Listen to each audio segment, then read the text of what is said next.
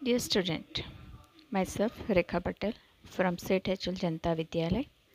Today we will discuss about some confusing words in English, homophones and homographs.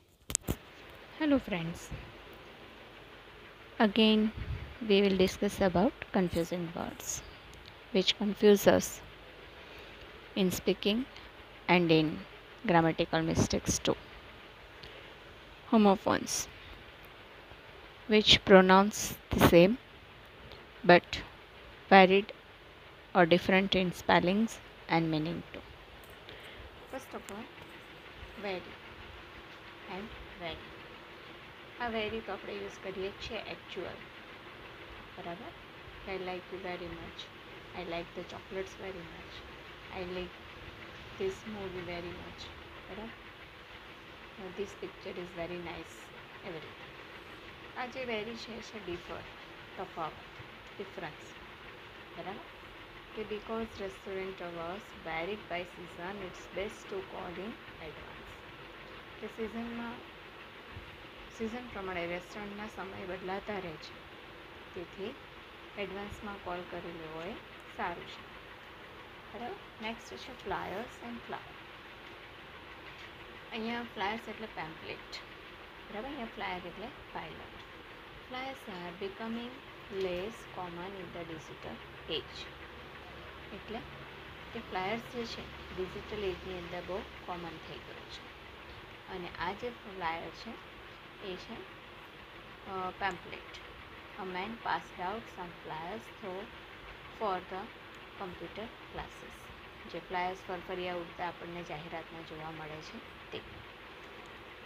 Advice અને advice બોલવામાં advise બોલાય છે જભલાનો જ અને એડવાઇસ બોલાય છે. આ વર્બ છે અને આ નામ છે, બરાબર?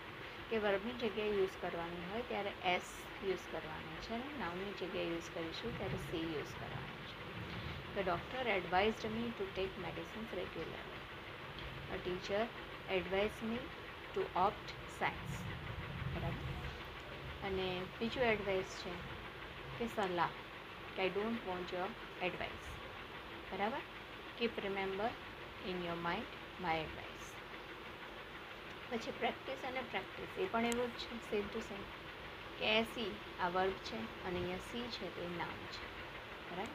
The players practised well for tournament બરાબર?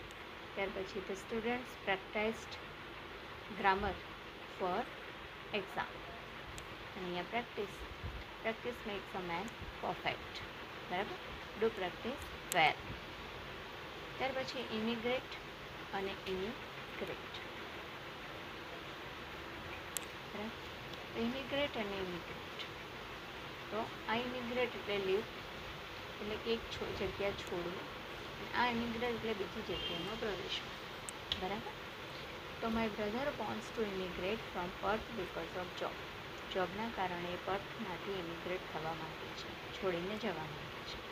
અને આ ઇમિગ્રેટ એટલે એન્ટર થાય તાસી immigrated to USA after living Canada Canada છોડીને તાસી એ યુએસએમાં ઇમિગ્રેટ થાય છે એન્ટર થાય છે, જાય છે. બરાબર? નેક્સ્ટ છે બિસાઇડ અને બિસાઇડ્સ તો બિસાઇડ આ બંને પ્રેપોઝિશન છે. બરાબર? પણ આ બિસાઇડ એટલે ની બાજુએ come here and sit beside me બરાબર? કે કમ આવો અને મારી બાજુમાં બેસો બરાબર? અને આ જે છે, એનો અર્થ થાય છે ઉપરાંત, વધુમાં, તદુપરાંત. કે આઈ ડિસલાઇક જંક ફૂડ મને જંક ફૂડ નથી ગમતું. Besides I don't have mood વધુમાં, મારો મૂડ પણ નથી. બરાબર?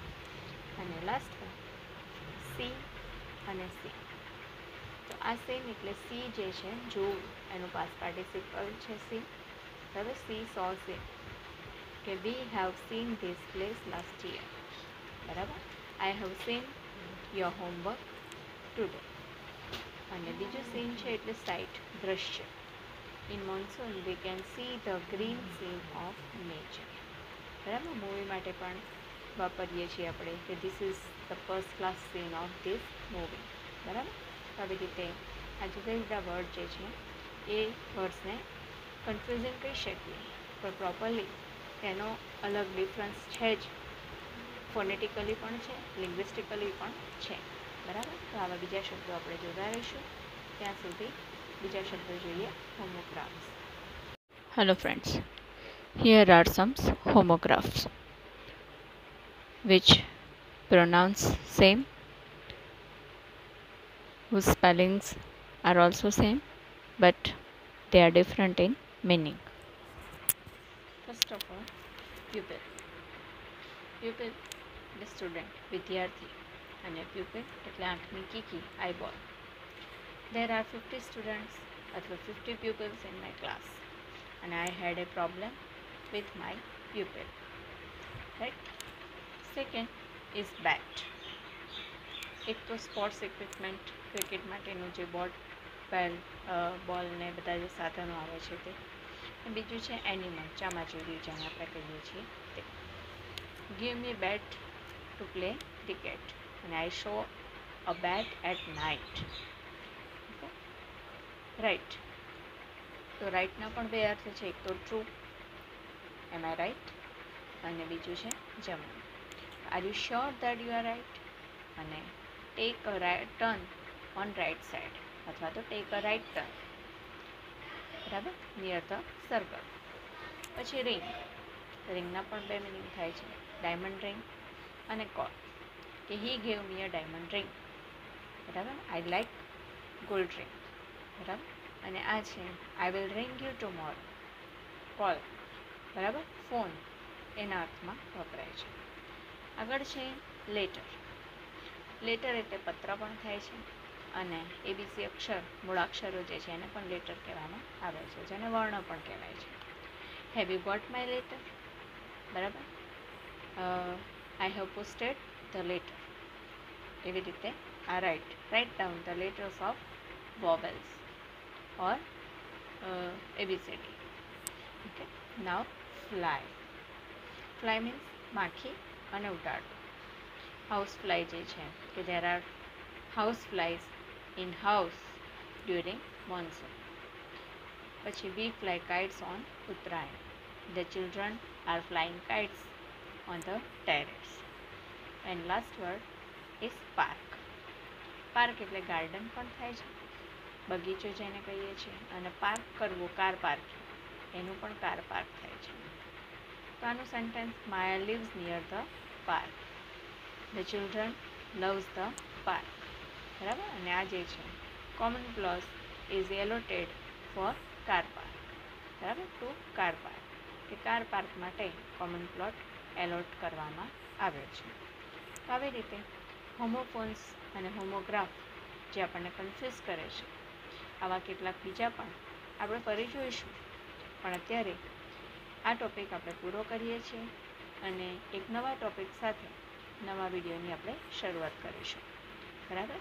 Idioms phrases new sentences for speaking English આ બધા ટોપિક જે છે, એને એડ કરીને આપણે નવો વીડિયો જોઈશું.